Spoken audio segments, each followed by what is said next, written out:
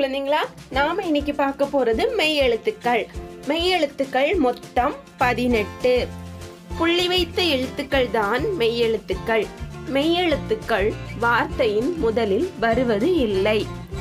இந்து என்ற எழுத்தில் தொடங்கும் சொற்களை பார்க்கலாம். இந்து ஆந்தை. இந்து சிலந்தி. இந்த பேருந்து. இந்த பந்து. இந்த குழந்தை. இந்த முந்திரி. இந்த சூரியகாந்தி.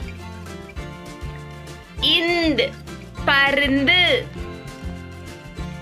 இந்த ஐந்து. இந்து. மருந்து. இந்து. தந்தம். இந்து. சாமந்தி. இந்து. வெந்தயம். இந்து. உளுந்து. இந்து. வெந்தய கீரை